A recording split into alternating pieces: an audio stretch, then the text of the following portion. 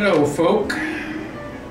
You might notice that the camera angle has been changed a little bit because this is going on the old or the just plain geezer network. I've had a very traumatic day. The reason it was so traumatic was because when I take a nap or I take a sleep, I don't wear any clothes. I mean, I, I stopped doing that when I was like 13 years old. I don't know why, I just did it. So, um, over a period of time, when somebody knocks on my door and I'm napping, I don't get up and put my clothes on. So there you go. You know, I mean, right away I think, well, I thought it was, mm, mm, mm, and it wasn't. It was a friend of mine. But it wasn't the first time I've ever done that before. You know, I was, oh, you're Yeah, looking, he's kind of careless, very careless. you're, you're looking good. I said, yeah. um, and you're looking a lot younger than I expected. So anyway, the reason I'm doing this is because there's not going to be any politics. There's not going to be any sex.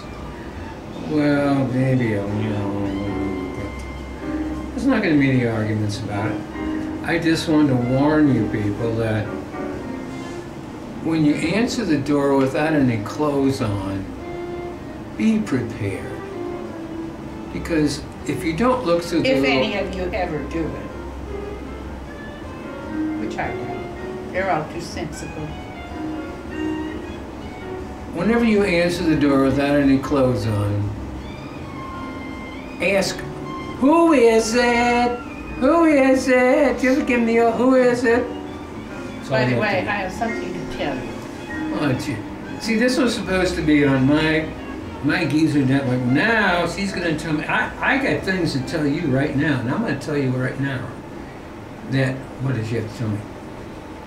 I've fallen in love with somebody else.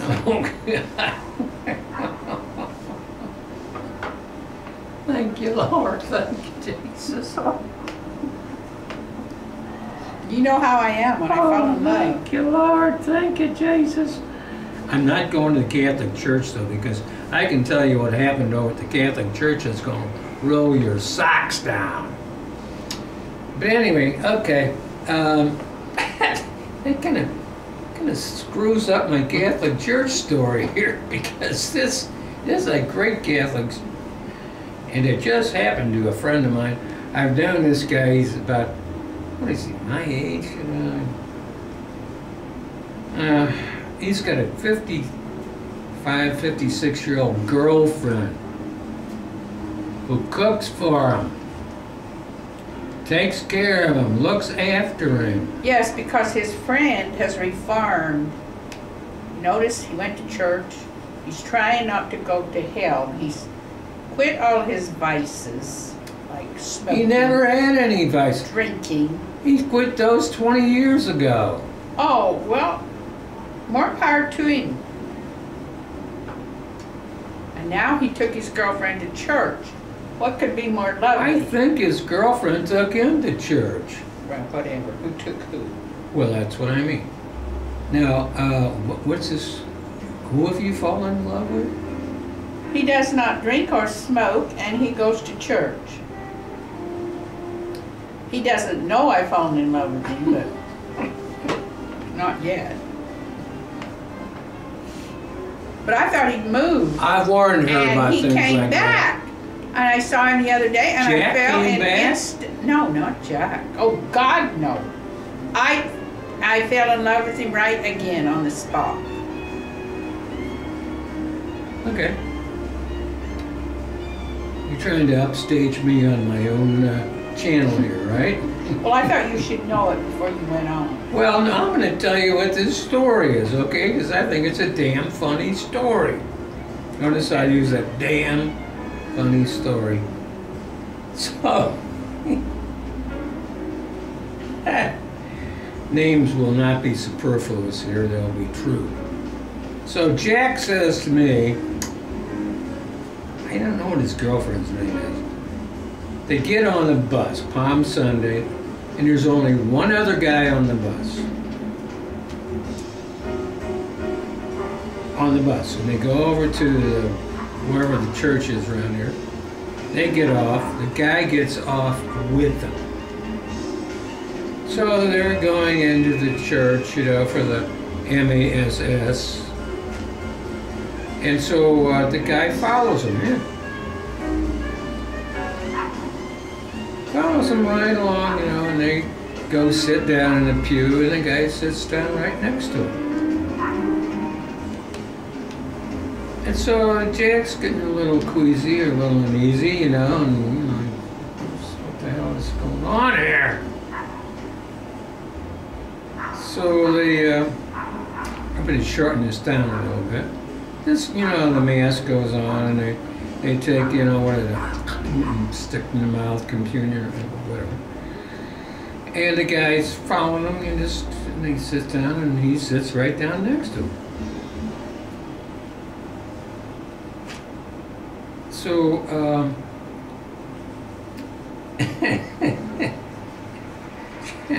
they pass the plate over. You know, they pass the plate, you know, you know, put, the guy puts a hundred dollar bill in there. So, uh, Mr. Jenny says,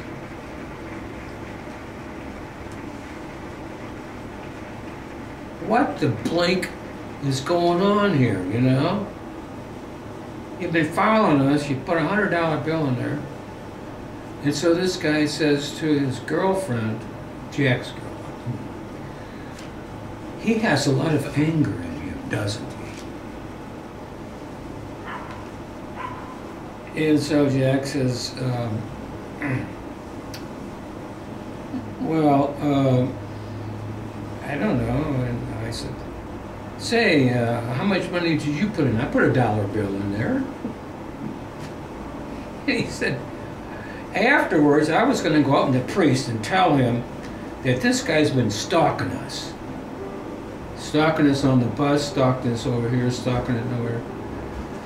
And I said, well, for two reasons. First of all, you got to be a long time before you get a stalker, right?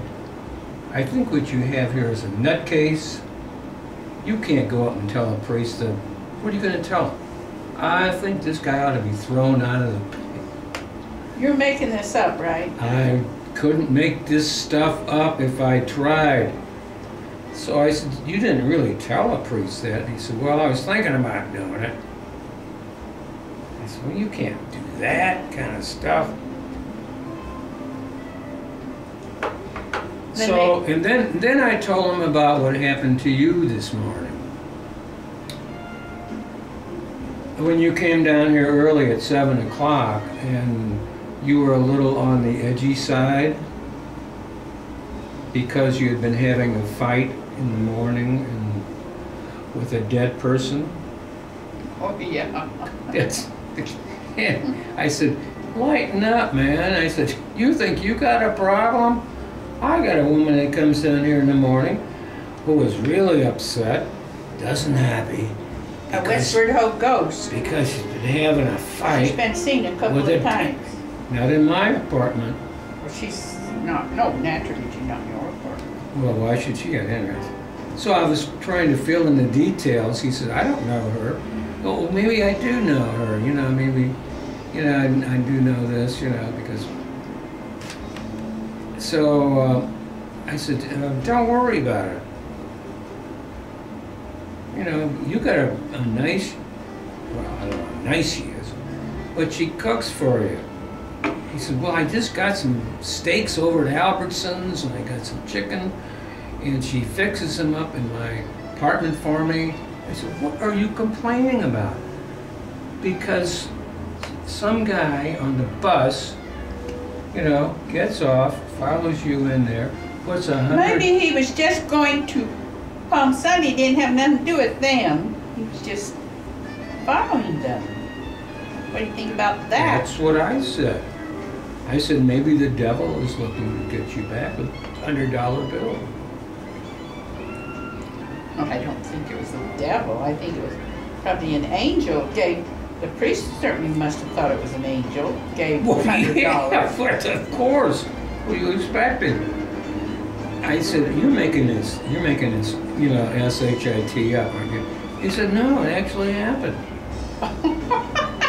I said, yes. I, I said, you should, and that's when I told him your story. And oh boy, yeah, it actually happened. She had this fight with this dead person, you know, so. I said, you know, it's just one of those things. I said, does she drink? He says, no, you don't smoke. You don't drink, you don't smoke. And I deserve someone who doesn't drink or smoke. I know, you do. And so uh, I have fallen in love, and I don't know. He doesn't know it, but I can't help it. You know, I can't help this thing. And uh, the thing of it is, is it gives me hope again. I know it To does. so glad to find that guy who does not drink or smoke is trying to go to to someplace besides hell, and Well, and then my sister told me, she said, uh, well, I think you might be wrong. Uh, Don probably which, isn't going to die by Christmas, and you're not going to die si- by next Christmas. which sister are we talking about? And she told me, she oh, said, brother. you're probably just going to fall in love and grow, go ahead and get live happily ever after to be 90 or so. And I thought, well, that sounds good. I was trying to get myself ready to die by two years.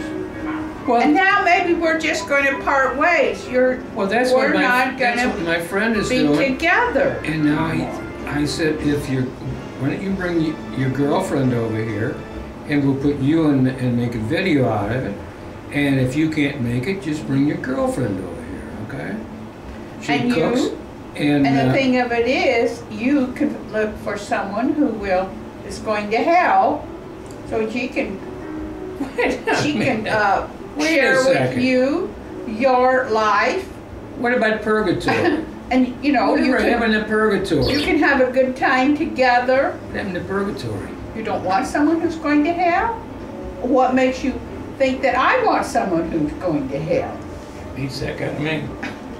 Notice I said heck. Now this guy, you know, it's it's just he Getting back to getting back to what I was saying. Old people. well, if you don't sleep in the nude, put some clothes on before you answer the door because you never know what it's going to No, to I'll tell you what you better do, and you won't ever answer the door naked. Quit. Quit your vices. Straighten up. Mm. Think about going, not that you're going to hell and you need to repent. Yeah, but see, And you will never go, I guarantee, if you, if you repent and give up your vices, you will not go to the door naked. Because you will have more consideration. You will say, whatever possessed me to do such a, a decadent thing? It's decadent to go to the door naked. Well, Sign I should have stayed. I should man. have stayed with my third wife. We were we were nudists. Oh, he it was great. I loved Oh, it. Walked yeah, he, he naked. loved it. He loved it. His, someone told him he looked like a Greek god, and he's never forgotten. Her mother said that oh, he oh he thinks about that, and he's so. oh, Uh, they were decadent, both of them. They sat around naked no, wait a minute. every Now- chance they got. wait a minute. I am still have the body of a god, but it, now it's like um, Buddha. But Listen the Buddha this. on Doesn't Buddha this now. sound not- like a very decadent man? Why doesn't that sound? He's like and you know he hasn't cast off cast cast rated. his his teenage rebel. Oh.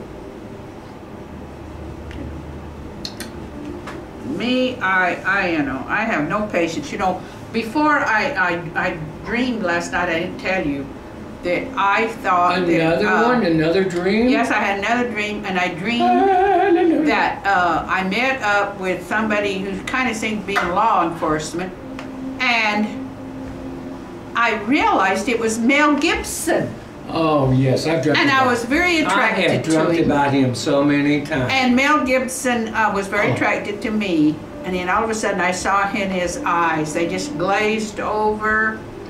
Uh, he acted like, hey, I can get any, I can get somebody 20 years old. that I, you know, I'm sorry, but you're out of luck. You're kidding. Yeah. You know Mel Gibson didn't now? want me. You know how old he is now? And you know who I, I think he was just standing for? Jack, that last guy. You know, you can meet guys who Uh, this Who act like this movie is a stars. different Jack. You know. He was corrupt, you know. He he was uh, he liked to get all the women to fall in love with him, you know, just like Mel Gibson. And I did not know that. he would break all their hearts, uh, proceed to uh, flirt right in front of them, show them that he didn't give a fig about them or anybody else. So I thought, my God, no wonder I couldn't do anything with him. He was another Mel Gibson. Who? Jack. Oh yeah. That Jack. Yeah. And now I'm completely over that Jack. You know what? He got evicted for bad behavior, for You- his corrupt Obviously, behavior. you've been jacked around a lot, haven't you? Somebody jacked you No, around. yeah, well, no, he never got near me because I wasn't skinny enough for him or anything else. I wasn't young enough. Well, I He knew that he could get a lot better. again. And so, but he still wanted to keep hold of everybody. He's one that like 50 girlfriends. And isn't that like Mel Gibson? I'm sure. He's got 50 Well, girlfriends at like least me. all over the. I, oh, I know. I don't have any know, girlfriends. I got know. you, but that's. And he has utmost contempt for me. He doesn't have any uh, use for me any more than Mel Gibson does. Who? You, I. because you love your vices more than you me. You'd rather go to hell any day of the week. If I tell you, I'm sorry, but you're going to have to clean up your act. I can't go on with you. You'd say, You cleaned up your act. I'm sorry. You did the dishes I'm morning. corrupt. You did the dishes this morning, and that scared the hell I out of love me. my corruption. Oh, yeah. I love my philosophy of life that enables me to go to the tour naked. Hmm. I just What's wrong like with being that? me. What's, I thought it was you. He never gets tired of being. I thought it was you. Oh, is that an excuse when I don't even like that behavior? That he's into torture, you know. He, he knows I hate it when he You comes to the woke door me up naked. out of a sleep. I because it was you. reminds me of how much he has lost. It's a facade. It's fake. You know, he has no feelings. So why would a man come to the door naked? Because I thought it was you. Oh yeah. It's to try to put on the facade of being a sexual human being when that's the last thing on his mind, the last thing that he wants to do. He just likes to Wait a minute. I distantly think about Wait a minute. it. I want to do it, but oh, God has played a no. nasty trick on me. Uh, yes, yes. Yeah, he gave 50 you an appetite. Yeah, right. After 50, forget it. No. If you have appetites like this, after 50, forget it. Right. You won't be able to do a thing. But it's so wonderful. This vice just enthralls him. I know. He's dedicated to it. And That's right. so, what can I do? I just fall in love with someone else. I'm sorry. I, I know. Fall. I fall. I never fall in love. And this time I hope he's not, I hope he's a little better guy than Mel Gibson was. I certainly hope so. yeah, for my sake. I don't think I could take another Mel. I was in love with Mel Gibson when I met him and I tried to substitute him for Mel Gibson. Well, they was both poor excuses for boyfriends. You're, you're the one of the worst boyfriends I have ever had. You have given me less pleasure. Uh, you know, what they call I mean, we've had a lot of laughs. He's a jokester, but I said, but there's, it, it's not complete. And I have a body. My God, my eyes are practically to, to. I'm just practically losing my eyesight just because I spend so much time on the computer. I spend so much time doing stuff that doesn't involve people. He, because what does he do? He sits here watches TV all day long. Reruns. Bob Newhart. Yes. Mary Tyler Moore. Betty White. And he said some dreams about Betty White. Is that what you?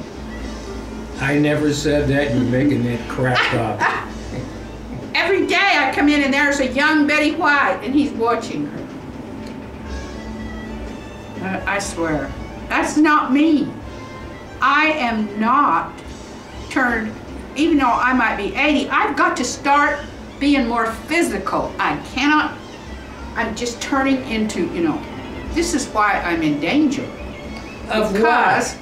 I'm spending too much time in the internet. I'm not interacting with real I people. told you that, but you don't But I don't me. have you to react to. You're spending too much time watching that thing. You don't do anything at all. You don't interact with people. You Well, don't even interact with me. I interacted with, you know, who coming through the door, and then he's telling me about his interactive girlfriend. Yes. Well, I went to the dentist Did this you- morning. Oh, gee. and I walked. He hadn't been to the dentist for years because he don't do things like that. Those are stuff that he has left behind. Uh, you don't want to get close to him because he's got a mouthful of. Listen, Ah, I have- I clean my teeth every three. I'm, I've got to clean my teeth. I every have three so many months. diseases in my mouth. If I breathe on myself, I asked the can doctor. I see said, "Will he die "Holy of crap. advanced, super advanced gum disease?" He might, he said, but you know, you don't tend to die of that. So I, I don't know how he's going to escape dying because he doesn't go to the doctor. He doesn't do anything they tell him to do. But he still lives on. He's the immortal. The immortal. Oh, here we come with the immortal alcoholic, right? Oh, you said that word. She I watches hate- a blog. I thought it was better for me to tell him crap is that in his own about? video that I'd fallen in love with a guy. Oh, you have. I didn't even know there was any guys even anywhere near my age that were, were reformed that actually uh, don't have these vices and they. Uh, I think he even wears a cross. Oh, jeez. So, you know, for a decoration or something. And I just think that's wonderful. Li- listen to him. He's, oh, Jesus. See, he's I didn't say that. I said, jeez. Sneer. He's sneering at this guy. I'm not He's sneering, sneering at, at religion. Is the what? What's religion? It is of baloney, or what is it you say? No. George Carlin agreed with me, and he said the only thing good. George! George! Carlin! Carlin! It's his! The only it's his- thing, the only thing good came out of religion was the music. Oh, Otherwise, they're killing each oh. other oh. all the time. Oh, yes, yes. oh, yeah, we're gonna, yes. gonna have to split this. You know. Oh, I'm decadence. going way over my limit. Oh, We're gonna have to split sorry. it. Oh, don't tell me that! Turn it off! Turn it off! Turn it off while we can still. I'm sorry, You're people. way past the limit. Ah, I'm sorry. I'm sorry. Well, I know. See, I knew that you were gonna get wound up when I told you that. I answered the door without any clothes on. I swear to God, if I ever hear him say that one more time, if he does that one more time, see, that is my reaction.